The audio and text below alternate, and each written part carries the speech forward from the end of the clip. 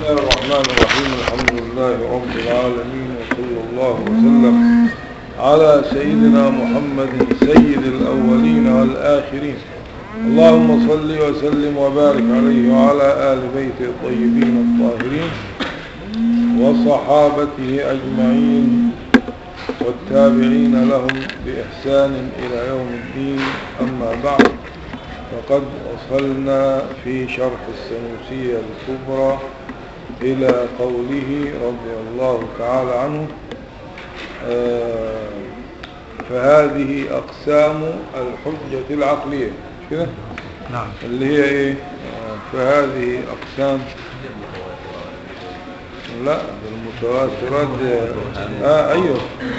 الخمسة اللي هي البرهان والخطابة والشعر والجدل والسخ هو ده أقسام. مش المتواترات دي لا. آه وجعلها البيضاوي في الطوالع ثلاثة أقسام البرهان والخطابة وإيه والمغالطة. يعني في الطوالع ثلاثة اللي هي البرهان والخطابة وتسمى أيضا الأمارة اللي هي الخطابة يعني والمغالطة. لأن هذا تعليل تعليل آه إنه الإمام أو الشيخ البيضاوي رضي الله تعالى عنه ونفعنا بعلوم وعلوم مشايخنا في الله تعالى أحياء وأمواتا جعل إيه؟ ثلاثة. يعني لماذا جعلها ثلاثة؟ لأن الحجة العقلية إما أن تتركب من مقدمات قطعية يبقى ده إيه ده؟ ها؟ ده البرهان. أو من مقدمات ظنية اللي هو ده إيه الخطابة أو من شبيهة بأحدهما يعني بالبرهان أو بالإيه؟ بالخطابة. ده هو ده إيه؟ المغالطة. وتسمى الأولى. قلنا ثلاثة أقسام. الأولى تسمى برهانا ودليلا. برهانا ودليلا أو برهانا أو إيه؟ أو دليلا. والثانية خطابة وأمارة. يعني كل واحدة لها إيه؟ برهان أو دليل خطابة أو أمارة. والثالثة مغالطة أو مشاغبة. يعني كل واحدة فيها أو. دي كمان معها إيه؟ وبالجملة فالمعتمد من هذه الأقسام في تصحيح العقائد الدينية القسم الأول الذي هو إيه؟ البرهان. فلذا قلت من البراهين ووصفتها للبراهين بالقاطعة. وطبعا ما فيش داعي لكلمة القاطعة لأن البرهان لا يكون إلا قاطعا. فيش برهان قاطع وفي برهان يعني تالم ده برهان وده إيه؟ برهان. ووصفتها بالقاطعة قال لك ده وصف كاشف لكشف معناها. يعني كأنه يقول البراهين التي هي قاطعة. وإنما عطفت عليها الأدلة عطف عام على إيه؟ على خاص. يعني لأن فن الخاص وفن العام. الدليل عام يعني الدليل إما أن يكون إيه؟ قطع ظن إنما البرهان إيه؟ أو إن البرهان والدليل مترادفان أو أن البرهان ما تركب والدليل يكون إيه؟ ربما يكون إيه؟ مفرد. لتدخل في ذلك يعني عطف الأدلة على البراهين ليدخل الأدلة النقلية فإن الأدلة النقلية تسمى أدلة ولا تسمى براهين لأن البرهان لا يكون إلا عقلي. خلاص؟ وهي أقسام الحجة العقلية. فعطف عليها الأدلة عشان إدخال الأدلة إيه؟ الأدلة النقلية الأدلة الإيه؟ السمعية. وإنما عطفت عليها الأدلة عطف عام على إيه؟ على خاص. لتدخل في ذلك الأدلة النقلية فيما تقبل فيه من العقائد. لأن العقائد فيها إيه؟ قسمان. في قسم لا يقبل فيه إلا الإيه؟ القطعي اللي هو الدليل العقلي اللي هو ما تتوقف عليه المعجزة. وفي قسم لا مجال فيه للإيه؟ للعقل اللي هو إيه؟ السمعيات التي لا تتوقف عليها الإيه؟ المعجزة. فتقبل فيها الأدلة النقلية. وذلك وذلك يعني اللي يدخل فيه إيه؟ آه اللي يدخل في قبول الأدلة النقلية. وذلك كل ما لا تتوقف المعجزة عليه كنفي النقائص عنه تعالى. يعني نفي النقائص عنه تعالى. هذا لا تتوقف عليه المعجزة وإنما تتوقف المعجزة على صفة الوجود وعلى القدرة وعلى العلم وعلى الإرادة وعلى الحياة. وثبوت الوحدانية له تعالى على رأي لأن الوحدانية اختلفوا إيه؟ اختلفوا فيها هل دليل الوحدانية عقلي ولا دليلها إيه؟ نقلي ولأجل هذا قال الدوشة اللي بره ده مش عارف أنا اشتغل يا امنا شوفوا لنا حد يسكت الجماعة اللي بره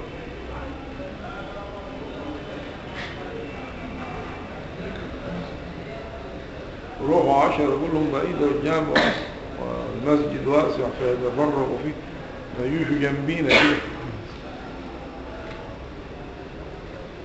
مفيش مرة كده يعني.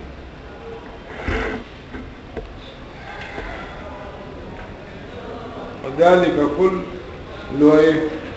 ذلك يرجع إلى إيه. إلى العقائد التي تقبل فيها الأدلة النقلية. وذلك كل ما لا تتوقف المعجزة عليه. كنفي النقائص عنه تعالى وثبوت الوحدانية له على إيه؟ على رأي. يعني على رأي آخر لا. لا تقبل الأدلة النقلية في ثبوت الوحدانية. وكوقوع بعض الممكنات يعني وكوقوع ده معطوف على إيه؟ على نفي النقائص وثبوت الوحدانية على رأي. وكوقوع بعض الممكنات من الحشر والرؤية ونحوهما. ووصفتها بالسطوع وصف إيه؟ البراهيم ووصفتها بالسطوع. إشارة إلى اشتراط القطع فيها أيضا.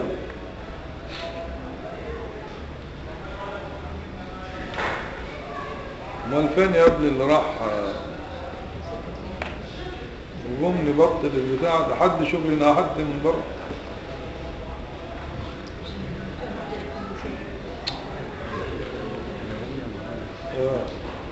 لا ما إحنا راضيين بس تم مما عمت به البلوغ بس ده مرضى عند إيه عندما لا نجد حلا وبعدين نعمل زي على الشيخ وقال له وأنا أنا حالي يفضل وحش قال له خمس سنين خمس سنين خلاص وبعدين تاخد عليك والله كلام حلو أنا زي ما تقول يعني قوة التركيز عنده ضعيف يعني يمكن يكون العيب عندنا. وإحنا هناخد على كده. إحنا خدنا بس طبعا لم يعني انبسط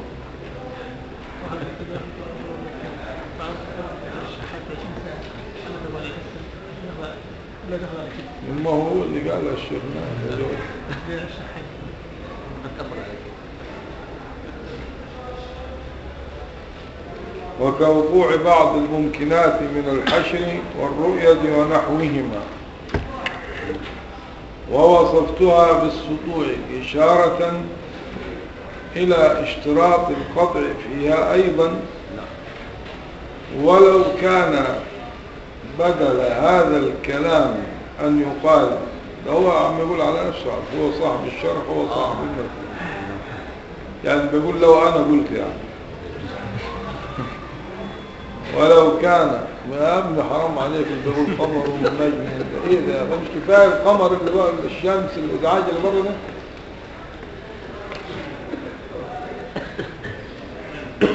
ولو كان بدل هذا الكلام أن يقال من البراهين العقلية والأدلة القواطع السمعية. لكان أبين وأحسن. يعني كأنه البراهين العقلية والأدلة اللي هي السمعية القاطعة لأن البرهان مش محتاج إيه؟ أن يوصف بأنه قا- قاطع. آه. قوله إلا أن يكون حصل له التقليد تقييد.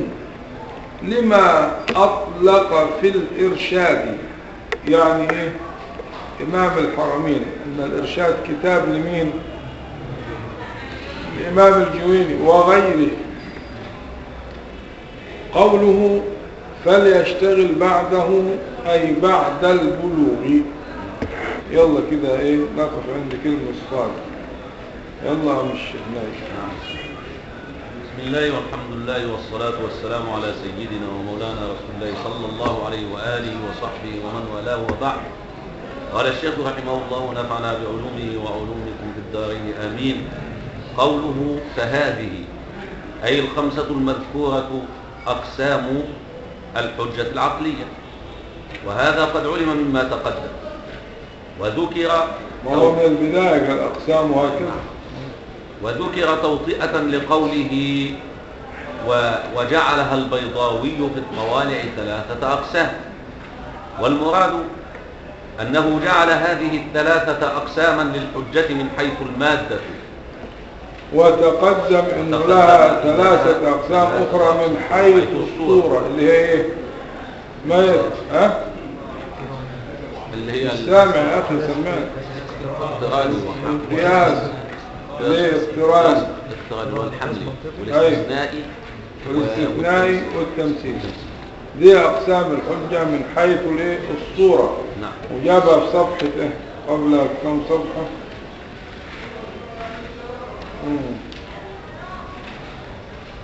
صفحة كام؟ 29 آه. صفحة 29 بيقول إيه؟ وتنقسم باعتبار صورتها إلى ثلاثة أقسام قياس منطقي واستقرائي وقياس تمثيل وهو القياس الأصولي. نعم. قوله وجعلها أي الحجة. قوله الأمارة. وجعلها البيضاوي يعني جعل أقسام الحجة في كتابه الطوالع ثلاثة إيه؟ أقسام. أقسام. قوله الأمارة يعني إيه؟ آه وتسمى الخطابة تسمى الأمارة. لأنها هو أقول الأمارة الأمارة. لأنها لكون مقدماتها غير قطعية علامة على النتيجة. يعني سماها أمارة يعني علامة. ليه؟ عشان المقدمات ليست إيه؟ قطعية. إنه لو كانت المقدمات قطعية مش هتبقى علامة. خلاص ما حصلت. إنما كونها مظنونة تصبح إيه؟ علامة على النتيجة لأن النتيجة ليست بيقين كما فين؟ كما في البرهان. أيوه. قوله الأمارة لأنها لكون مقدماتها غير قطعية علامة على النتيجة. ها يعني لو كانت قطعية هتبقى يعني إيه؟ خلاص مش علامة. يعني هنقطع بالنتيجة ولا ولا تكون علامة. قوله نعم. قطعية أي مقطوعا ومجزوما بها ابتداء بأن كانت ضرورية أو قوله, قوله إيه؟ قطعية أي مقطوعا ومجزوما بها ابتداء أو انتهاء. طب كيف تكون مقطوع بها ابتداء؟ بأن كانت اللي هو المقدمات إيه؟ ضرورية. أو انتهاء يعني هنرجع بالنظرية إلى الضرورية. يعني هننتهي إلى إيه؟ إلى الضرورة حتما. قوله قطعية أي مجزوما مقطوعا ومجزوما بها ابتداء بأن كانت ضرورية أو انتهاء بأن كانت نظرية وانتهت إلى الضرورة.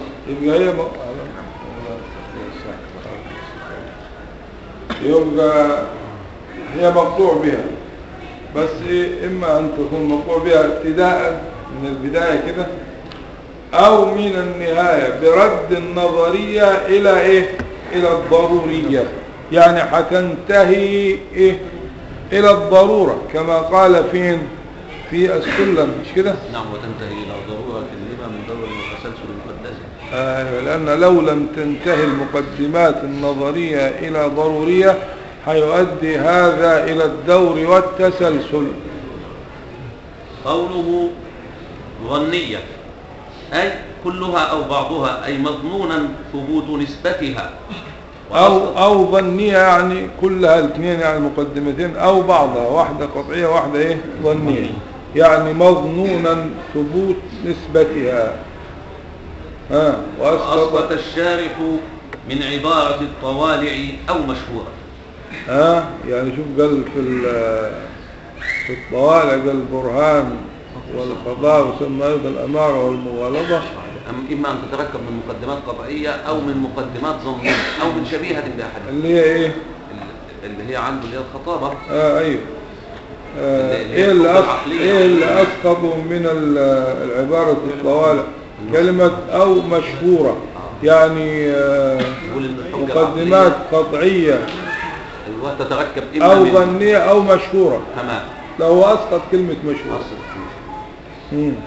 قوله أو ودليل. بأحدهما. آه؟ قوله أو آه أو بأحدهما. يعني هي شبيهة للمغالطة. شبيهة بالبرهان أو شبيهة بالخطاب.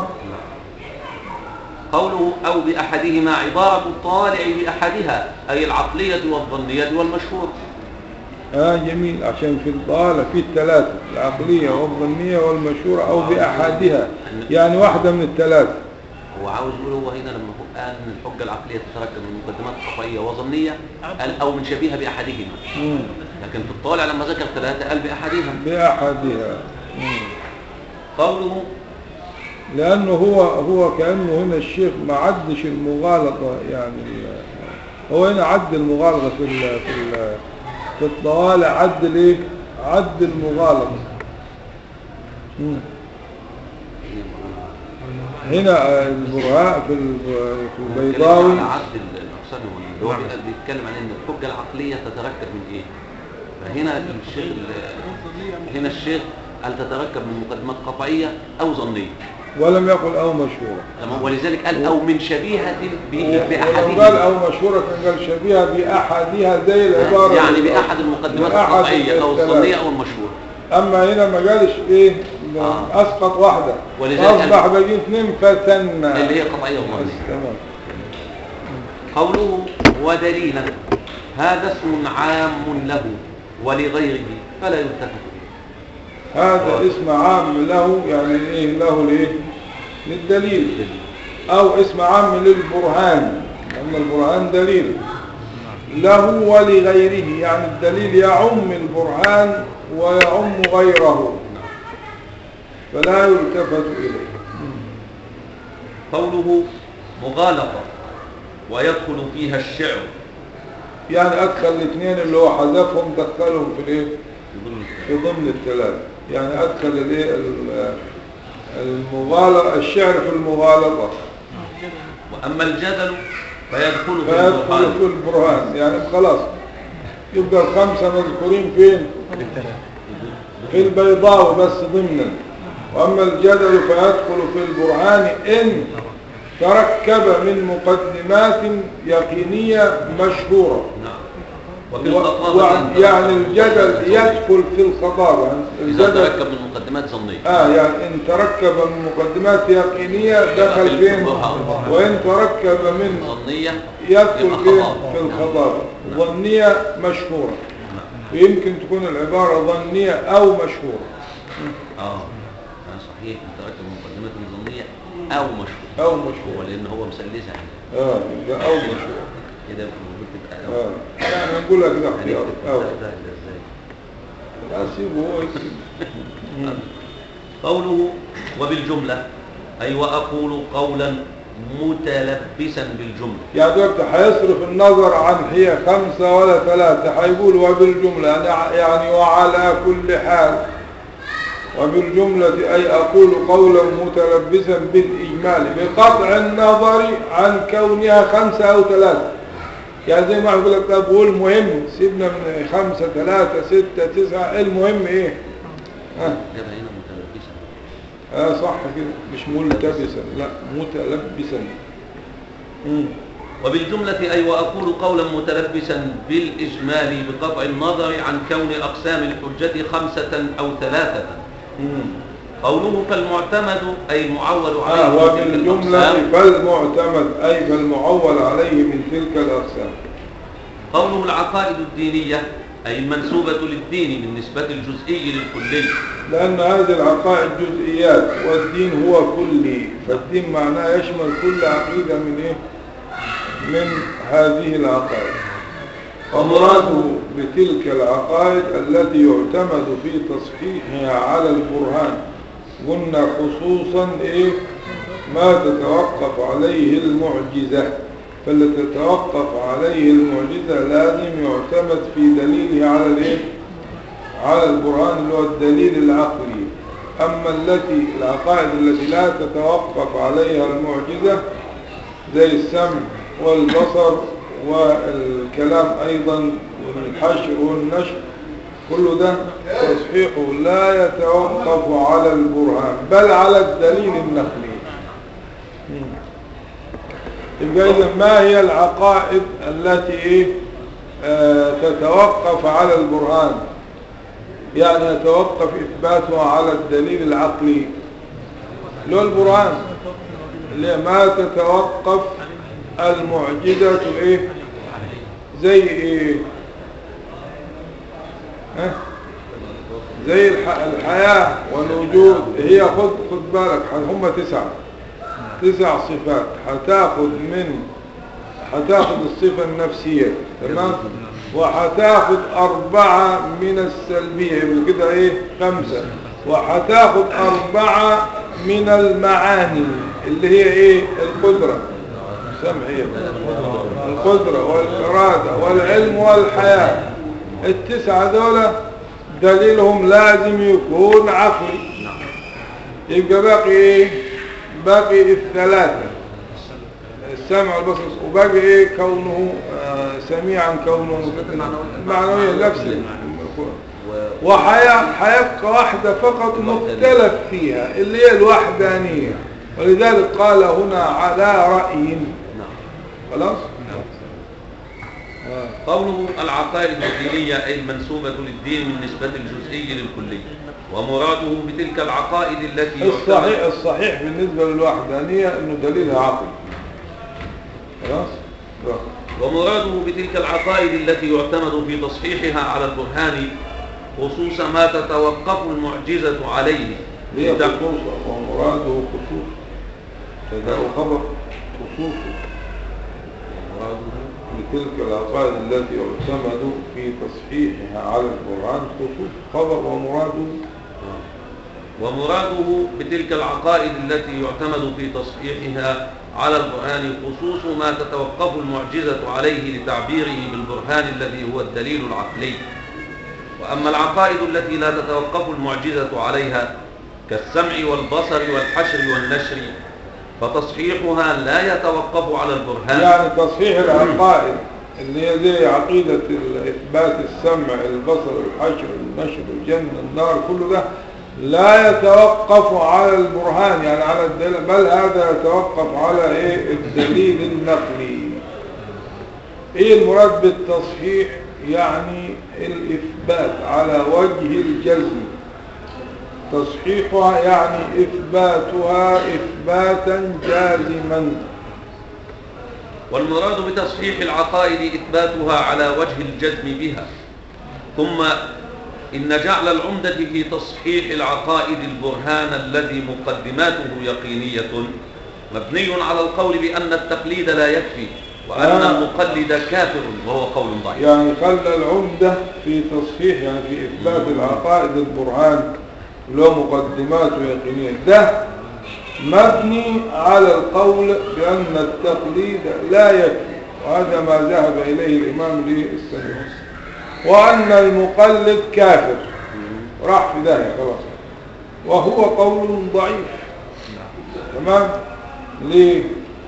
ان أنا قلت لك كمان حاجة إيه؟ ال- بالنسبة لل لا لكلام الشيخ ال- السنوسي رضي الله تعالى عنه الموضوع دي انه التقليد إيه التقليد لا يكفي وأن المقلد إيه كافر. طبعا نسبة السنوسي هنا حياتي الكلام بتاعه بعد قليل. إنه نسب بيقول إيه؟ التقليد لا يكفي. ونسب هذا لمين؟ للجمهور الإمام السنوسي نفسه. نسب القول بعدم كفاية التقليد للجمهور. خلاص؟ آه وعند التحقيق نجد أن الإمام السنوسي خدنا قوله في في المقدمات يخالف القول اللي فين؟ اللي في الكبرى. لأنه ماذا قال في المقدمات؟ اللي هو شرحها هو مش اللي هو شرح ال- السرقسطي قال إنه الجمهور على الاكتفاء به. هو اللي قال كده. وهنا بيقول إنه الجمهور على عدم الإيه؟ الكفاء الاكتفاء به. جماعة كده الإمام السنوسي تناقض. فدافع عنه قالوا لا. هو لم إيه؟ لم يتناقض. ليه؟ قال يح- يحتمل. طبعا فك التناقض على جهة الاحتمال ده كلام يعني مش بس هو حل يعني. آه يقول يحتمل إنه آه أراد هنا لما قال ال- عند الجمهور لا يكفي التقليد أراد جمهور جمهور المتكلمين. خلاص كده؟ وعندما قال يكفي أراد جمهور غيرهم. يعني جمهور العلماء. إيه اللي يدل على كده؟ انه العبارة اختلفت. يعني مثلا ما قاله في في العقيدة الوسطى الوسطى أنا عندي كتاب ال- الوسطى وفي علم بسم الله ما شاء الله جميل جدا. عنده آه بيقول إيه؟ في الوسطى لما يتكلم على عدم كفاية التقليد قال وهذا مذهب جمهور المتكلمين. يعني حدد مين هم إيه؟ الجمهور. أما في الصغرى قال جمهور أهل التوحيد. برضه يوافق اللي قالوا فين؟ في الوسطى. أو يكون قد رجع عما إيه؟ آه قاله هنا إنه الكبرى كما الفها في الأول. وبعدين تدرج يعني اللي كتبوا في الأول الإيه؟ الكبرى. وبعدين كتب الوسطى وبعدين كتب الإيه؟ الصغرى. يبقى معنى كده طالما ده متاخر وده متقدم يبقى هو عمل إيه؟ ها؟ رجع. ليه؟ آه إذ آه ما قاله هنا تشديد عظيم. ولا نقض أو مناقضة في كلامه إذ هي إجماعات وإيه؟ آه وتشهيرات متباينة فصح أن يحكي في كل مقام ما استحبه. يعني في مقام التشديد والتخويف يحكي القول هذا وفي مقام آخر يحكي إيه؟ آه لكن ال- الأولى أو المقبول كده علميا أنه رجع عن هذا القول. ده لأنه ده في- في الآخر وده ده كان فين؟ في الأول. يعني كتابة السنوسية الكبرى كانت في الأول وبعدين إن كده إيه؟ رجع أو خفت الإيه؟ الحدة التي كانت موجودة في الإيه؟ في فترة الشباب أو في أول التأليف. يلا مش شيخنا. قوله وذلك شيخنا قال لك هو قول ضعيف. يعني قالوا الإمام السنوسي قالوا حد آه، ثاني. لأنه المسألة دي آه، تناقضت فيها الإيه؟ الأقوال والإيه؟ والمذاهب فيها إفراط وفي تفريط وفي ناس توسطت كان الإمام السنوسي هنا يعني في غاية؟ الشدة ولذلك الحافظ ابن حجر آه، يعني أطال النفس في هذه المسألة في فتح الباري آه، وتكلم على إيه؟ الفريق الأول أو الطرف الأول الذي قال بكفاية التقليد المحض. في إثبات وجود الله تعالى ونفي الإيه؟ الشريك خلاص آه وبعدين ذكر طرف ثاني بالغ فحرم النظر في الأدلة يعني يعني كأنه يعني مش فقط قال بك- بكفاية التغليظ بل حرم النظر في الأدلة واستند إلى ما ثبت عن الأئمة الكبار في ذم إيه؟ علم الكلام والطرف الثاني قال آه إيه؟ بأنه إيمان كل أحد لازم يكون منبني على معرفة الأدلة اللي هو إيه؟ يشبه قول الإمام الإيه؟ السنوسي. وهذا القول نسب لأبي إسحاق الإسفرايني إنه لازم من معرفة الإيه؟ الأدلة اللي هي في علم الكلام. وقال الإمام الغزالي القول الوسط قال أسرفت طائفة فكفروا عوام المسلمين وزعموا أن من لم يعرف العقائد الشرعية بالأدلة التي حرروها فهو كافر فضيقوا رحمة الله الواسعة وجعلوا الجنة كلام من الشيخ الغزالي وجعلوا الجنة مختصة بطائفة يسيرة من المتكلمين.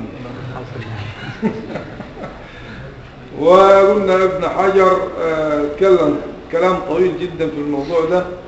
آه، وقلنا حتى ذكر أن بعضهم أنكر وجوب المعرفة أصلا وقال إنها حاصلة بأصل الفطرة.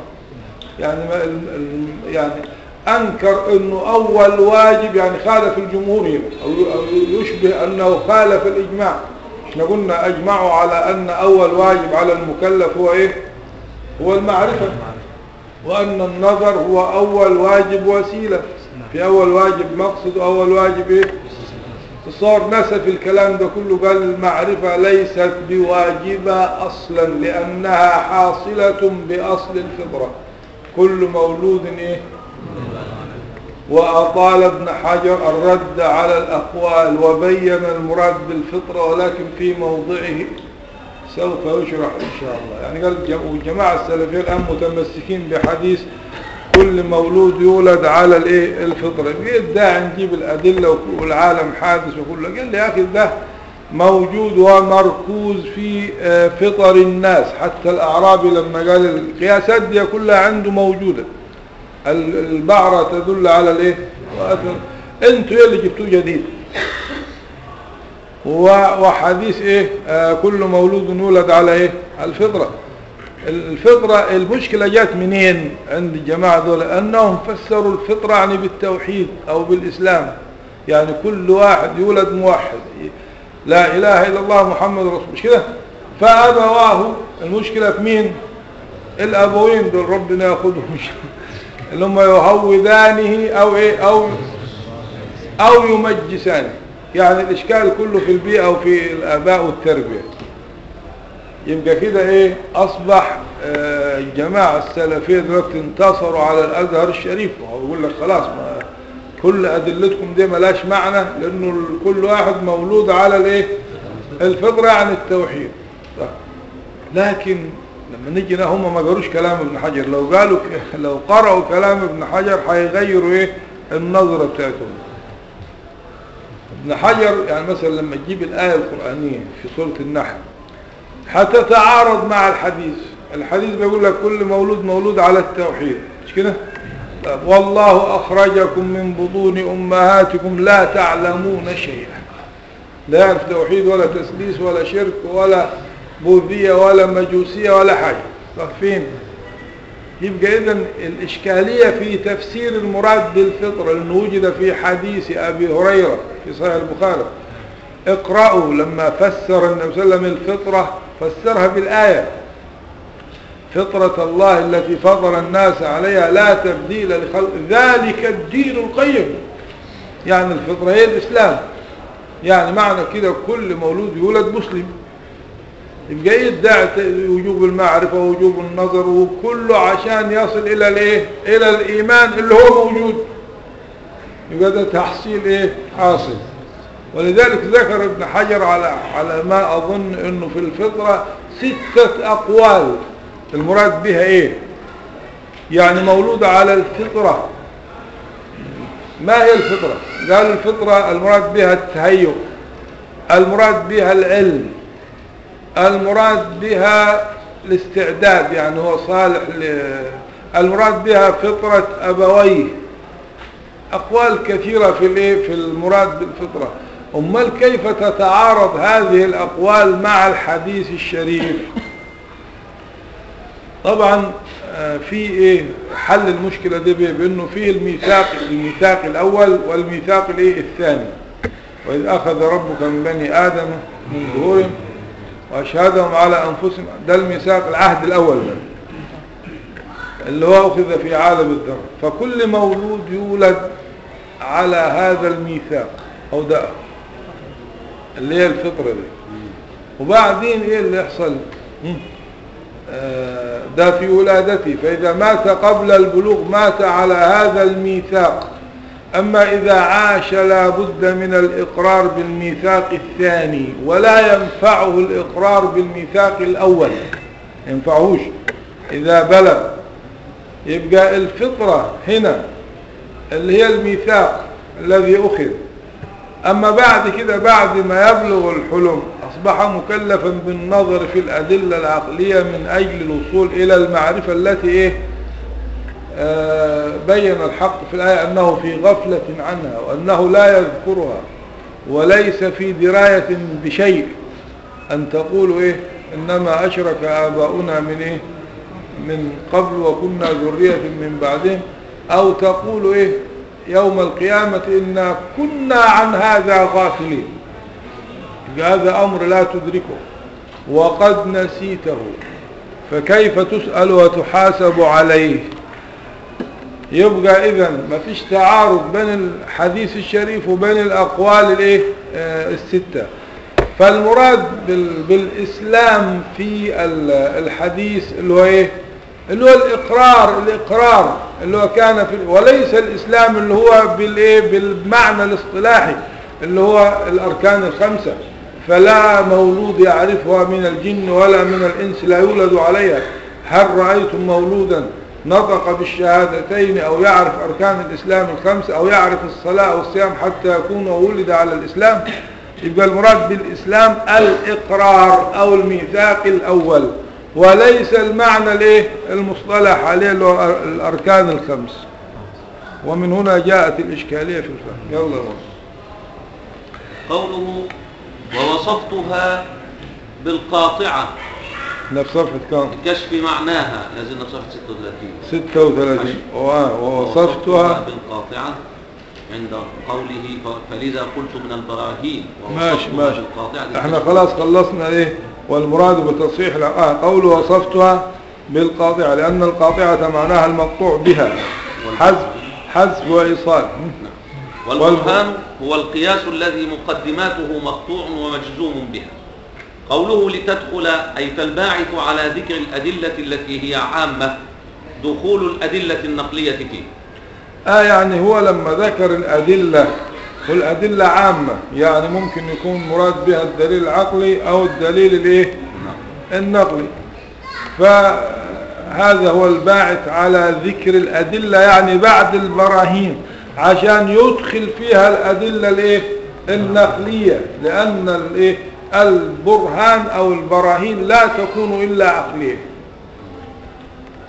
قوله فيما تقبل أي في العقائد التي تقبل الأدلة النقلية التي تقبل. فيما تقبل فيما تقبل فيه من العقائد. أي في العقائد التي تقبل الأدلة النقلية فيها. فقوله وإحنا عرف عرفنا العقائد التي تقبل فيها الأدلة النقلية. التي لا تتوقف عليها المعجزة. فقوله من العقائد بيان لما وقوله تقبل صلة أو صفة جرت على غير من هي له فكان الواجب الإبراز. آه يعني آه، جرت على غير ما على غير من هي له. مش كده؟ نعم. يعني لما قال إيه؟ لتدخل في ذلك الأدلة النقلية فيما تقبل فيه. فيه. فيما يعني فيما تقبل. راجع, فيه. راجع على إيه؟ يعني جرى الضمير في كلمة تقبل راجع على الأدلة. مم، بس هي مش هي لا تدخل الأدلة فيما تقبل. الأدلة كان المفروض الضمير يعود على ما؟ مم، أيوه. على الاسم الموصول. صح آه. فترك الموصول وعاد على الأدلة النقلية. فعاد على فكان يجب أن يبرزه ويكون فيما تقبل هي أي الأدلة النقلية فيه. إيه تمام. كده ماشي. قوله من العقائد بيان لما وقوله تق- تقبل صلة أو صفة جرت على غير من هي له. فكان الواجب الإبراز. اللي هي له اللي هي إيه؟ ما. قوله وذلك أي العقائد التي تقبل الأدل تقبل تقبل. الأدلة النقلية فيها. قوله كل ما أي كل عقيدة. قوله كنفي النقائص أي التي يكون نفيها بالدليل النقلي. آه لأنه مش كل النقائص نفيها بالدليل النقلي مم. وإنما في نقائص نفيها بالدليل العقل. العقلي وذلك جاب النقائص التي يكون نفيها بالدليل النقلي قال زي الصمم والبكم والعمى. لأن أضدادها من السمع والبصر والكلام إنما ثبتت بالدليل النقلي. فلا يرد يعني على إيه؟ ها؟ على قول كنفي النقائص. كنفي النقائص. فلا يرد أن من جملة النقائص العجز والجهل. وهذه نفي ذلك تتوقف المعجزة عليه. خلاص كده؟ نعم. يعني ولذلك لما لما قال كده كنفي النقائص راح قال إيه؟ آه كنفي النقائص المراد بها التي يكون نفيها بالدليل النقلي لأن أضدادها من السمع والبصر والكلام إنما ثبتت بالدليل النقلي فلا يرد أي على ذلك أن من جملة النقائص العجز والجهل ونفي ذلك تتوقف المعجزة عليه لأن نفي العجز بالقدرة ونفي الجهل بالعلم والمعجزة تتوقف عليهما. يعني على إيه؟ على القدرة وعلى العلم. ولو قال. ولو قال الشارح بدل قوله كنفي النقائص كثبوت السمع والبصر والكلام لكان أظهر وأنسب بقوله بعد وثبوت الوحدانية آه يا ريت بدل ما كان يقول كنفي النقائص كان يشيل كلمة نفي يقول كثبوت السمع والبصر والكلام. كان كده ماشي إيه؟ لأنه بعدين قال وثبوت الوحدانية لا توقف ثبوت الوحدانية قال إنه هيعطف نفي وث- كان كان بيقول عليه إيه؟ ثبوت الوحدانية آه. قوله على رأي أي قول أو أي قول من يقول إنها ثبتت له بالدليل النقلي. والمعتمد أن ثبوتها بدليل هي الوحدانية المعتمد في دليلها أن دليل الوحدانية دليل عقلي. قوله من الحشر أي من وقوعه. أما جواز وقوعه فدليله العقل. يعني مثلا. لما قال من الحشر هناك إيه؟ آه وقوع وقوع الحشر. كونه يقع ده دليله إيه؟ سمعي. إنما جواز الوقوع دليله عقلي. إذا فما يجيش واحد يقول السمعيات دي السمعيات ملهاش مجال للعقل. لا مجال العقل فيها إيه؟ أنه يقول بجوازها يعني لا يحكم فيها بنفي ولا بإثبات. وإنما يقول بجوازها يعني ممكن. إنما كونها واقعة أو غير واقعة لابد من الدليل السمعي يبقى إذن العقل له دخل في السمعيات ولا. لأن العقل لو لم يحكم بجوازها الدليل النقل مش هينفع يعني افرض العقل قال باستحالتها يبقى إيه فائدة النقل ملوش لازمة فلولا أن العقل يحكم بجوازها لا يقبل فيها الدليل النقلي يبقى فهمنا الدليل النقلي في وقوع الحشر. يعني في حشر ولا ما فيش؟ إنما هل يمكن أن يكون هذا دليل عقلي ده؟ ده ولا هناك فرق بين الإيه؟ الإمكان وبين الوقوع. يعني الوقوع ده أما جواز الوقوع اللي هو الإمكان ده, ده دليله إيه؟ عقلي. ماشي مظبوط. أنت كده كويس؟ نعم. ولا أبشر. قوله من الحشر أي من وقوعه. أما جواز وقوعه فدليله العقل وكذا يقال في النشر وهذا بيان يعني وكذا في النشر وكذا في الجنة والنار والحساب والحور العين كل ده إيه؟ آه دليل الوقوع لازم يكون نقلي. أما الجواز الوقوع عقلي. قوله إشارة إشارة. إشارة ووصفتها بالسطوع إشارة. يعني من أجل الإشارة. فيه إيماء إلى أن دلالة الوصف المذكور على القطع وذلك لما. لما نع- نعرف إشارة نعرفها إيه؟ مفعول لأجله. يعني لأجل الإشارة. فيه إيماء إلى أن دلالة الوصف المذكور على القطع بدليل إيه؟ وإلا ما كانش قال إشارة. لو كان في آه، مطابقة أو تضمن يبقى معناها إيه طالما قال إشارة يعني إيه؟ بطريق الاستلزام.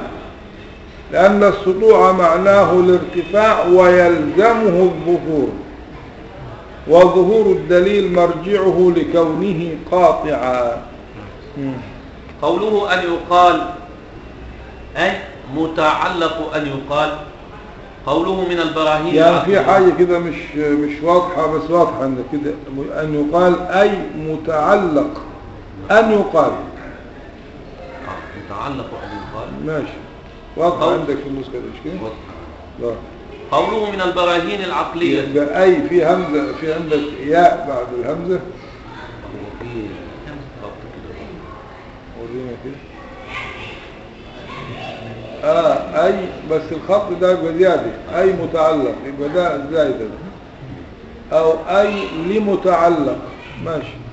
أن يقال يعني لم ممكن تكون دي لام ممكن يكون حاجة. لمتعلق يقال. آه ماشي. وممكن تكون ده حاجة كده شبيحة مشبح كده وخلاص.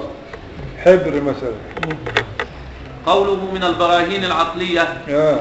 أي بدل القطعية المحوج للمجاز.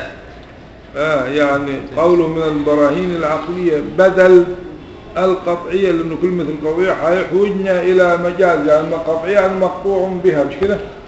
وفيه يعني في ده الكلام ده في وصف البراهين بال- بالقطعية مش هينفع. قال لك لأن البراهين لا تكون إلا عقلية البراهين العقلية فلا حاجة لذكر قوله العقلية. وهل في برهان مش عقلي؟ الدليل في عقل وفي نقل أما البرهان لا يكون إلا عقلي نعم. وفيه أن البراهين لا تكون إلا عقلية فلا حاجة لذكر قوله العقلية فقد فر من شيء ووقع في شيء آخر. آه يعني زي ما يقول لك فر من إيه؟ فر من القطعية ووقع في لا في يقول لك فر من ال- القطر المضرع فوقع في في الميزاب أو حاجة آه مش كده؟ يعني واحد بيفر من المطر راح وقع في الترعة مثلا. لما خليك في المطر أحسن. ها؟ يبقى آه و... والوصف بالسطوع تمام. آه فيه تجاوز عشان قلنا فيه المجاز وكذا. إطلاق السطوع على القطع وما آه ذكر من اشتراط القطع إنما هو في العقائد؟ وما يرجع إليها. أما غير ذلك في فروع في العقائد يعني زي إيه؟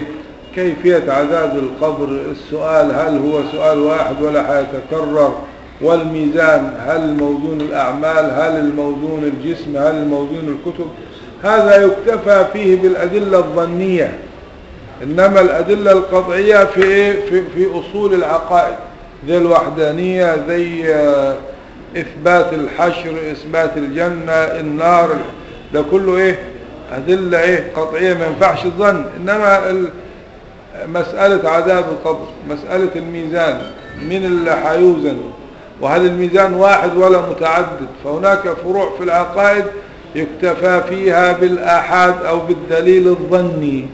ما لم يقع التعبد فيه بالقطع إلا إذا كان في شيء كده تعبدنا الله تعالى به نؤمن به على جهة؟ القطع فهذا لا لا يكتفى فيه بد... يعني إذا ال- الآحاد أو ال- الظنيات تدخل في العقائد بس في إيه؟ في الكيفيات. يعني زي المرور على الصراط. مؤمنين بالصراط وحنمر عليه. لكن كيفية المرور ده يدخل فيها الأدلة إيه؟ الظنية. في ميزان. مين اللي هيتوزن أنت؟ ولا الصحائف الكتب ولا الأعمال طب والميزان؟ كل واحد ليه ميزان ولا ميزان عام للكل هذا يكتفى فيه بالإيه؟ بال- بالظن. إنما أصل أصول العقائد لا. واضح ولا مش واضح؟ قوله والقواطع السمعية. فيه أن القواطع جمع قاطعة بمعنى مقطوع بها. فالتجوز الذي فر منه في قوله البراهين القطعية قد وقع فيه في قوله والقواطع لأنها بمعنى المقطوع بها. قوله أبيض لأن ما في المتن ليس فيه تصريح بالقطع في الدليل النقلي وإنما فيه إشارة لذلك من قوله ساطعة. آه يعني هو لو لو جابها الدليل النقلي ما فيهوش تصريح وإنما من أخذ من الإشارة في قوله ساطعة. ليه؟ يبقى ده أطلق السطوع وأراد به الإيه؟ القطع. قوله أبيض لأن ما في المتن ليس فيه تصريح بالقطع في الدليل النقلي وإنما فيه إشارة لذلك من قوله ساطعة وقوله وأحسن لأن في عطف العام على الخاص شبه تكرار. يعني كأنه بيكرر أما يعني لو لو قال في الأول يبقى ما فيش عطف. لأنه عطف عام على خاص. نعم. والعام ده مذكور في ضمن الخاص يبقى كأنه مش تكرار شبه تكرار. يعني كأنه ذكروا مرتين مرة في ضمن العام ومرة ذكروا إيه؟ وحده. قوله وأحسن لأن في عطف العام على الخاص شبه تكرار وما سلم من ذلك أحسن. وما سلم من شبه التكرار كان أحسن. وهذان الوجهان للأب... لل... لل... آه، للأبينية والأحسنية بالنظر للطرف الثاني وهو القواطع السمعية وأما وجههما بالنظر للطرف الأول وهو البراهين العقلية فهو المقابلة لا، المقابلة. المقابلة لأن العقلية تقابل قوله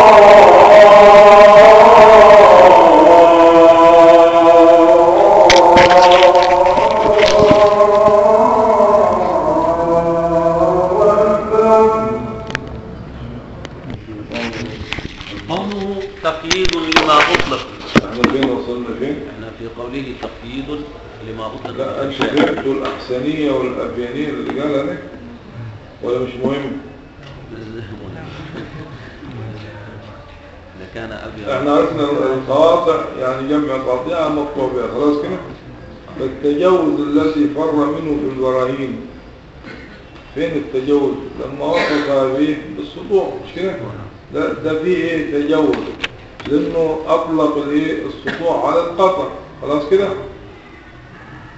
وبعدين اشترط انه يكون القطع في العقائد.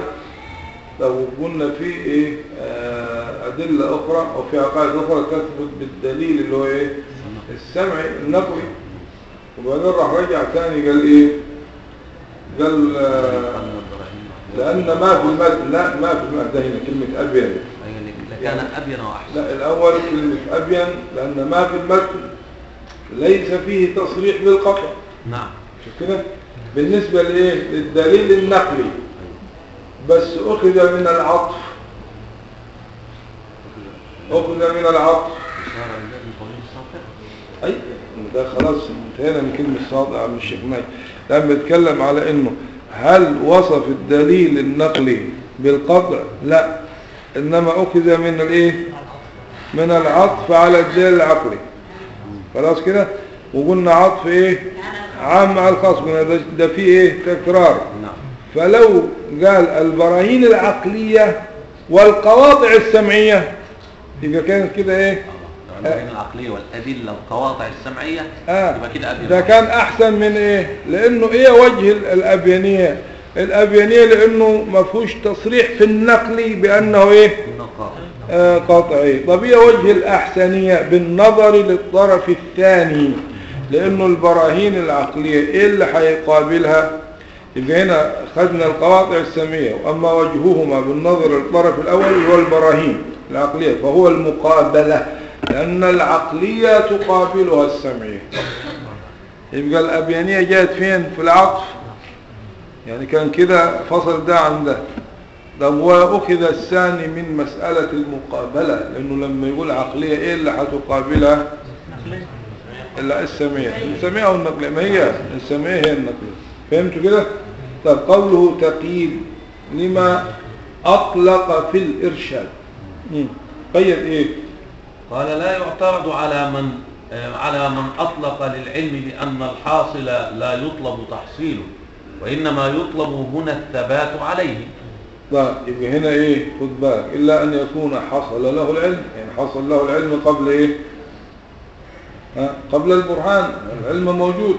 يبقى حي... البرهان حي... هيعمل إيه؟ حي... مش هيؤدي إلى التحصيل لأنه موجود وإنما عاوزين يثبت على كده. زي يا أيها الذين آمنوا آمنوا. يبقى هنا المطلوب هنا مش الإيه؟ مش التحصيل وإنما الثبات يعني الدوام عليه. يعني عرفت إيه؟ فالزم إلزم هذا. يبقى أفادنا إيه هنا؟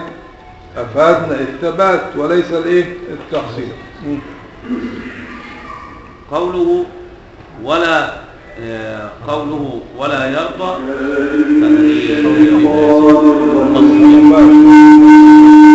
خلصوا واقفين على على العشاء على الأذان وبعدين إيه؟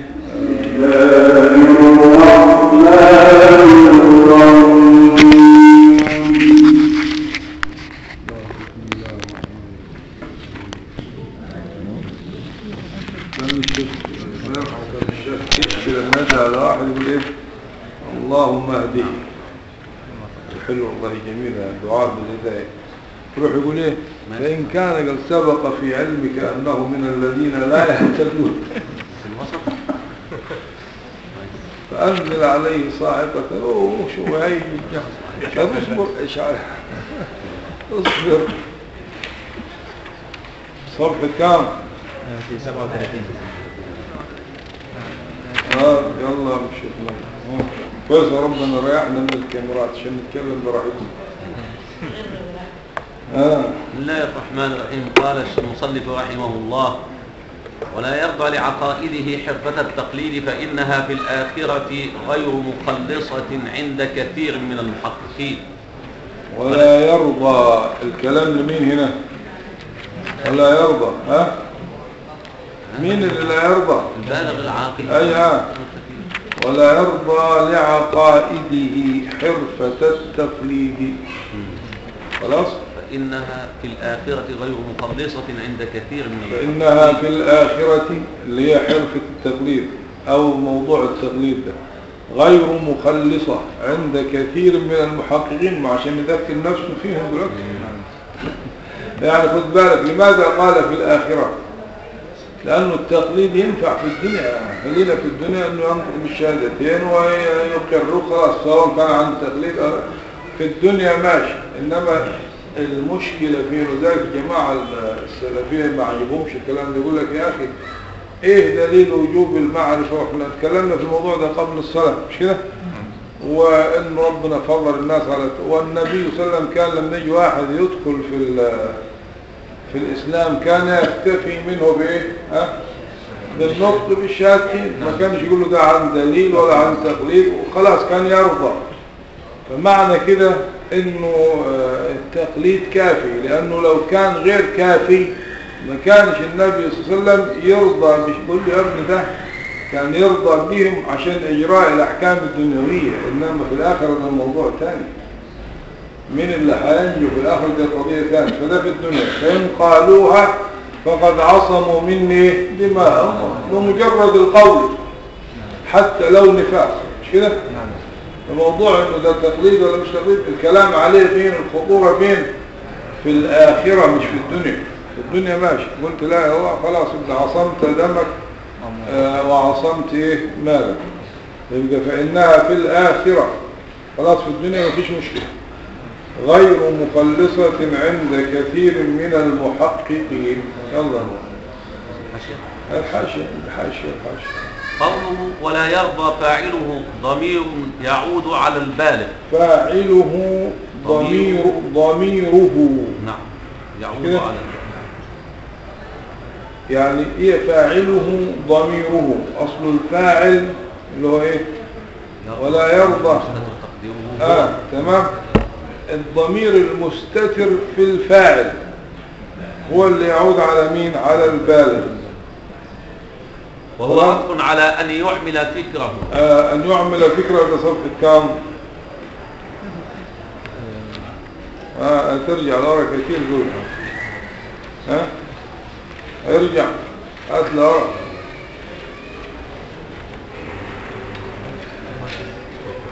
14 أوه بص كده؟ رجعنا 14 قبل كل شيء أن إن بلغ أن يحمل فكره فيما يوصله إلى الحق. شوف شوف كده كل اللي بين 14 لحد 37 ده كله إيه؟ جمل معترضة. دي دولة معترضة دولة مستقلة. الدولة مستقلة. شوف كده صفحة 14 فين؟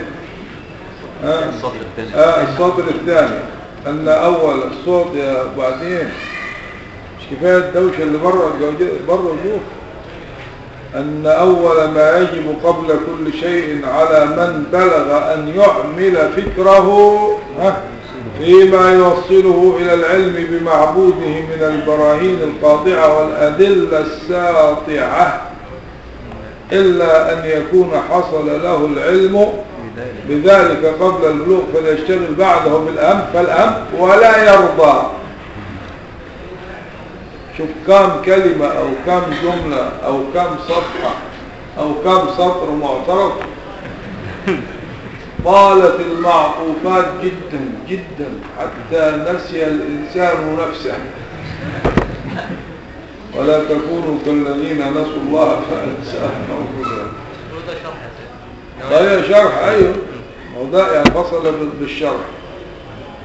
ولا يرضى لعقائده حرفة التقليد فإنها في الآخرة غير مخلصة عند كثير عند كثير يعني عند قليل مخلصة إن شاء الله. وإحنا مع القليل والقليل ربنا يخليه كثير إن شاء الله. يعني قوله ولا يرضى فاعله ضميره يعود على البالغ فاعله يعني فاعل يرضى اللي هو إيه؟ المكلف.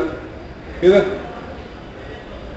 فاعله يعني الفاعل له ضمير مستتر يعني ولا يرضى المكلف هو مثلا قوله ولا يرضى فاعله ضميره يعود على البالغ على أن وهو عطف على. أن يعمل فكرة. أي ويجب عليه أن لا يرضى أي وجوب أصول الدين لا. فلا يكتفي بالتقليد. آه آه أي وجوب أصول أصول أصول الدين.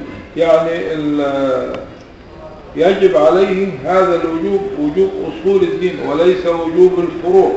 فلو كان وجوب فروع لكان آثما بتركه.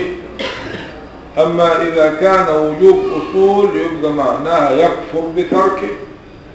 يعني إذا تركت أصلا هو واجب عليك أصلا من أصول الدين فتكفر مش تأثم. أما إذا تركت ما هو من الفروع فتكون آثما فتكون إذا لمن الآثمين. خلاص؟ لأن الوجوب وجوب إيه؟ فروع. أما هنا وجوب أصول يعني لا لا يكتفى بالتقليد يعني مش هينفع مش كافي في في الخلاص في الآخرة. يبقى معناها أنت من الهالكين. خلاص. ويحتمل أنه مستأنف. خبر لفظا إنشاء معنى أي إنه ينهى عن ذلك. آه ويحتمل أنه اللي هو إيه ولا يرضى لعقائده. ده كلام مستأنف كلام استئناف جديد. خبر لفظا يعني في اللفظ ولا يرضى خبر إنشاء معنى. يعني ينهى أن يكون راضيا في عقيدته بإيه؟ بالتقليد. وشوف جاب كلمة التقليد بطريقة تنفر منها الطباع. فقال حرفة حرفة. يعني أطلق على التقليد حرفة لخسة مرتبة صاحبه. يعني قال حرفة في التقليد. يعني كأنه جماعة المقلدين دول أصحاب حرف مش علماء صنايعيين. يعني ليسوا أساتذة. حرفة ليه؟ يعني سمى التقليد حرفة لخسة مرتبة صاحبه. لأن الخسة شأن الحرفة أي الصنعة غالبا.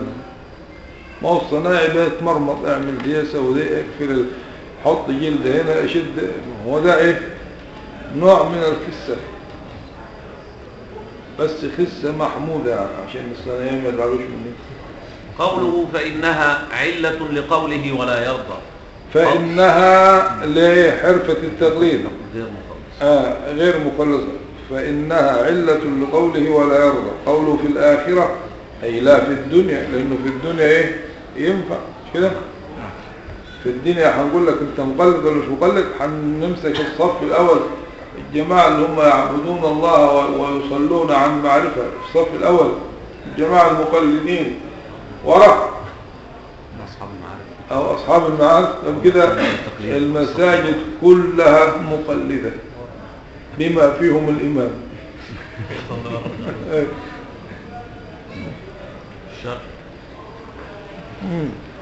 قال الشارح رحمه الله اعلم أن الحكم الحادث ينشأ عن أمور خمسة أمور خمسة. علم. الحكم, الحكم الحادث ينشأ عن كم أمر خمسة؟ علم واعتقاد وظن وشك ووهم.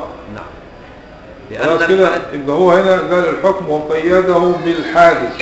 ليخرج به القديم فإن القديم ليس ناشئا عن واحد من الخمس بل ليس ناشئا أصلا. القديم ما ينشأش عن شيء اللي ينشأ ده ليه؟ الحادث. ولذلك قال إيه؟ اعلم أن الحكم الحادث ينشأ عن أمور خمسة. يعني الحكم ينشأ عن علم علم اليقين اعتقاد ظن شك وهم أن الحاكم بأمر على أمر طبعا الحكم ثبوت أمر أو إيه؟ أو نفيه ثبوتا أو نفيا إما أن يجد في نفسه الجزم بذلك الحكم ده ده العلم أو لا؟ والأول إما أن يكون لسبب وأعني به إما ضرورة أو برهانا أو لا. وغير الجزم إما أن يكون راجحا على مقابله أو مرجوحا أو مساويا فأقسام الجزم اثنان وأقسام غير الجزم ثلاثة. إذا فالأقسام كلها إيه؟ خمسة. ويسمى الأول من قسمي الجزم علما ومعرفة. لماذا قال علما ومعرفة؟ على أنهما أي العلم والمعرفة مترادفان فقال إيه؟ علما ومعرفة. يعني بناء على إيه؟ على ترادفهما. لكن لو كان العلم غير المعرفة هيقول إيه؟ علما فقط. علما فقط. ويقينا. ويسمى علما ومعرفة ويقينا. والثاني يسمى اعتقادا. ويسمى الأول من أقسام غير الجزم ظنا. والثاني وهما والثالث شكا. إذا عرفت هذا فالإيمان إن حصل عن أقسام غير الجزم الثلاثة اللي هم إيه؟ الظن والوهم. بسرعة جاوب ما تعرف. وإلا هتبقى شاك. الظن والشك والوهم. فالإيمان إذا نشأ عن واحد من الثلاثة فالإجماع على بطلانه. ترتيب حلو جدا. ده. وإن حصل عن القسم الأول من قسمي الجزم وهو العلم فالإجماع على صحته. يبقى إذا بقي الإيه؟ القسم الثاني وهو الاعتقاد. فينقسم قسمين مطابق لما في نفس الأمر ويسمى الاعتقاد الصحيح كاعتقاد عامة المؤمنين المقلدين وغير مطابق ويسمى الاعتقاد الفاسد أو الجهل المركب كاعتقاد مين؟ الكافرين فالفاسد أجمعوا على كفر صاحبه أنه آثم غير معذور مخلد في النار اجتهد أو قلد. يعني حتى لو اجتهد لا ينفعه إيه؟ خلاص ما هو اجتهد فأخطأ أو فأصاب في الخطأ. ولا يعتد بخلاف من خالف في ذلك من المبتدعة واختلفوا في الاعتقاد الصحيح الذي حصل بمحض التقليد. هنا المشكلة هنا. فالذي عليه الجمهور والمحققون من أهل السنة كالإمام كالشيخ الأشعري والأستاذ مين الأستاذ ده؟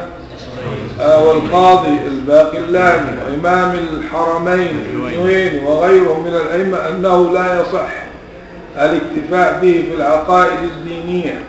وهو الحق الذي لا شك فيه. وقد حكى غير واحد الإجماع عليه وكأنه لم يعتد شوف جعل, جعل الخلاف لمين؟ للحشوية أو الحشوية. لا تنفع كده وتنفع كده. لو قلنا الحشوية بالنسبة إلى الحش يعني اللغو. طب والحشوية نسبة إلى الحشا. ردوا هؤلاء إلى حشا الحلق. وكأنه لم يعتد بخلاف الحشوية وبعض أهل الظاهر يعني الظاهرية إما لظهور فساده وعدم متانة علم صاحبه. يعني عاوز أقول لك ممكن يكون صاحبه عالم بس مش علم متين. أو لانعقاد إجماع السلف قبله على ضده. وحصل وحصل ابن عرفة في المقلد ثلاثة أقوال. الأول أنه مؤمن غير عاصي بترك النظر الثاني أنه مؤمن لكنه عاصي إن ترك النظر مع القدرة الثالث أنه كافر ونصه في شامله. الشامل بتاع مين؟ ابن عرف الذي حاذى به طوالع البيضاوي. التقليد اعتقاد جاد لقول غير معصوم أو لقول غير معصوم. فيخرج اعتقاد قول الرسول والإجماع ومعرفة مدلول الشهادتين والمعاد والفتنة إما بدليل معجوز عن تقريره وحل شبهه أو تفصيل مقدور عليهما فيه ففي إيمان ذي التقليد فيهما فيهما مش كده؟ نعم. فيهما لا ماعز لا معس يعني بترك نظره إن قدر أو معه. ثالثها اللي هو القول الثالث هو كافر لنقل المقترح مع عز الدين والآمني محتجين بأن أكثر من دخل الإسلام على عهد النبي صلى الله عليه وسلم لم يكونوا عارفين بالمسائل الأصولية. ولا أحسن كان يعرف حاجة من الموضوع ده وحكم صلى الله عليه وسلم قلنا طبعا ده مش هيغني في الرد ده لأنه ده على الايه؟ على على امور الدنيا. خلاص حكم بإسلامه يعني في الدنيا ولم يحكم بنجاة في الآخرة. ونقل الآمدي عن بعض المتكلمين وأبي هاشم مع مقتضى قول الفهري اكتفاءه صلى الله عليه وسلم بالنطق بالشهادتين. إنما هو في الأحكام الظاهرة لا فيما ينجي أو ينجي من الخلود في النار. وقول الشامل يعني الكلام اللي في الشامل من مات بعد مضي ما يسع نظره وتركه اختيارا كافر وإن مات وتركه يعني ترك إيه؟ النظر. ما يسع النظر وترك وترك النظر. اختيار كافر. وإن مات قبل مضي ما يسع ذلك مع تركه النظر اختيارا فيما أدرك منه قول مش كده؟ قول القاضي يعني قولين ولا إيه؟ قولين. قول القاضي الأصح كفره بعد قوله. يمكن ألا يكفر. كده خلص الإيه؟ المتن. أما الشرح طبعا آه يعني المتن اللي قرأناه ده هيبقى الشرح بتاعه في الإيه؟ المرة القادمة إن شاء الله. اللي هنبدأ منين في الشيخ ناجي من أول إيه 37 يا سيدي. 37 فين؟ الشارع في آه.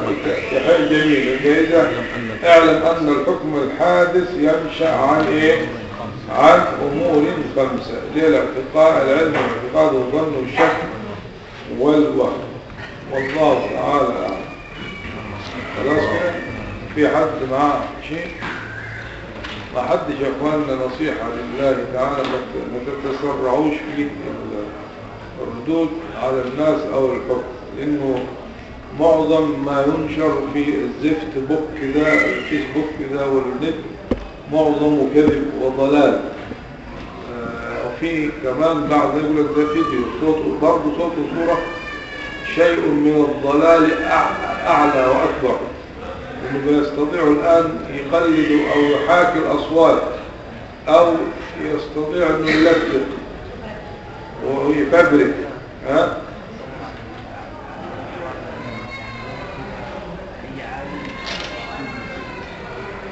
فلا تسبوا العلماء ولا تقعوا فيهم مهما كان أو حتى المنتسبين إلى العلم. بسبب ما يعني آه، اليوتيوب بدأ ما ما ينشر من مقاطع لأنه فيها إيه؟ آه، قص وفيها فبرك وفيها لعب وفيها تزوير. وقد جربنا ذلك على جهة القطع إلى البرهان القاطع فوجدناه ورجعنا إلى الشيوخ فسألناهم فتبرأوا من ذلك. وحسبنا الله ونعم الوكيل. وبعض الأخوات جايبة ورقة بتقول عن واحد معين إنه بيقول الجرس بتاع ال- الكنيسة أفضل من الأذان ولا- ومش عارف إيه كلام كده يعني آه، لا ينبغي أن إيه آه، يقال مش كده؟ الورقة معك؟ هلا يا سيدي الحمد لله. يبقى ما ينفعش إيه آه، يحكى كلام عن عالم أو عن أحد إلا إذا سمعته بنفسك في سياق معين لا يحل لك يحرم مجرد نقله لأنه ده اشاعة للإيه؟ للمنكر واشاعة للفتنة. فإن لم يكن يعني الكلام آه، صحيح على جهة القطع والثبوت لا تنقل فتكون من الآثمين بمجرد النقل. فما بالك لو أنت اعتقدت أو رديت أو أثبتت وبدأت كمان ترد عليه وفرعت عليه. هذا آه، ضلال. وأنا حصلت معي شخصيا في بعض البلاد رحنا تكلمنا والله في آه، فضل النبي صلى الله عليه وسلم وفي أخلاق المؤمنين وفي التزكية.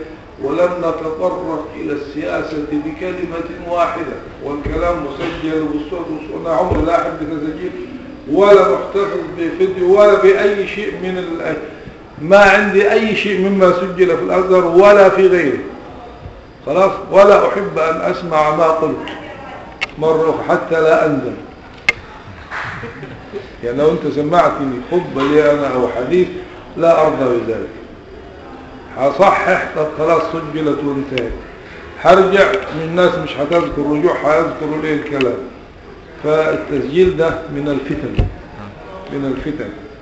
صحيح في مقصد حسن وهو إنه الإنسان يذاكر وإنه يحصل ورب كل ناس لكن والله كله كلام فارغ. وأنا جربت ذلك حتى في متون التجويد لو كان حريصا لحفظها وتلقاها. إنما يسجلها يصورها كل كلام ده لا ينفع. بيعمل إيه هو؟ الشيطان يقول له هي مسجلة عندك وبالصوت والصورة والشيخ في جيبك شوف لك حاجة ثانية وسيب الحاجة دي خليها بعد وقت ينساها ولا يرجع إليها أبدا. يعني هو مخليها عنده احتياط. يعني طالما إيه الإنسان ملكها وحس إنها هي في حوزته هيهملها. إنما لو كان عارف ما فيش تسجيل وما فيش آه، فلاشة وما فيش هيضطر إيه؟ ها؟ يحافظ ويحذر وينتبه.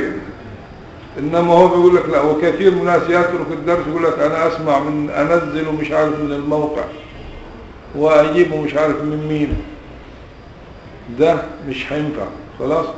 بركة العلم في إيه؟ في الحضور وفي المعايشة وفي أن تجلس مع المشايخ وأن تأخذ منهم هذا. إنما لا يمكن. مرة أنا كنت قلت كان لسه زمان جديدة حكاية ال- السيديهات والأشرطة دي. كانت الأول أشرطة كاسة تسجيل قلت أنا إيه أجيب متن مثلا الشاطبية أو أجيب حتى ختم القرآنية وأسمع. فالمشايخ قالوا لا. بقول لهم ليه؟ طب ما هو نفس الشيخ ونفس الصوت. قالوا افرض أنت أخطأت. هيخرج الشيخ من الشريط ويردك.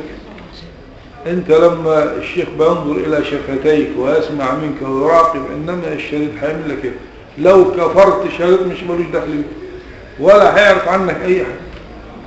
فدي من فتن الايه الشيطان فالمهم الغرض محدش ياخد معلوماته من الجهاز ده الخبيث أو من التقنية العالية. لازم تكون إيه؟ مباشرة وعرفت الايه السياق لذلك أنا قلت لك حصل معي في بعض البلاد ونقلوا عبارة مشهورة ومنشورة إنه فلان ده عميد مش عارف إيه يقول على السيسي ده مش عارف مين ده اللي يعارضه ملعون أو مطلوب. ولا هذا الكلام لم يخرج ولا قلت ولا اعرفه ولم يذكر من قريب. والحمد لله ما فيش فيديو ده مجرد إيه؟ كلام وصورة. حتى الصورة ملفقة محطوطة مش عارف ورا ضرة مية مش عارف مش يعني مش موجود حاطين صورة على حاجة غريبة لكن ما فيش الحمد لله ما فيش صورة. يعني إيه؟ عصمنا الله تعالى من إيه؟ إلقاء ال- آه، ألقى الشيطان في أمم مش موجودة. فكلام إيه فارغ في يعني. فالناس كلها يقول لك ما تردش ليه؟ أنا اكتفيت بالرد بايه بحاجة واحدة فقط. وضعت في الصفحة كده وأنا ما عنديش صفحة ده واحد كده قائم عليها كده. من المفتونين أيضا. أنا ملاش دخل بيها ولا أعرف عنها أي حاجة. كل اللي عملته إيه؟ قوله تعالى يا أيها الذين آمنوا إن جاءكم فاسق بنبأ فتبينوا. بس فقط أن تصيبوا قوما بجهالة. فتصبحوا على ما فعلتم ولم أرد بكلمة واحدة ولا أي شيء. ولا يوجد في الصفحة غير حكم ابن عطاء الله. فاتقوا الله لعلكم خاصة عيب ده يشاع وينقل في الأزهر الشريف أو في أوساط طلبة العلم. فلان قال فلان مش عارف كذا فلان كذا. إن سمعت ورأيت خلاص وتكون من أهل العلم يعني مش أي واحد يسمع ينقل. ممكن تنقل كلام رب حامل فقه ليس بفقيه. رب حامل فقه لا من هو أفقه رب مبلغ أو عن واحد تنقل الكلام وتفهمه بمزاجك. لا. فما تنقلش أصلا. مين اللي كلفك بالنقل حاول تفهم. ما فهمتش اسكت. اللهم صل أفضل الصلاه على أصحاب مخلوقاتك سيدنا محمد وعلى آله وصحبه وسلم على معلوماتك ومداد كلماتك كلما ذكرك الذاكرون وغفل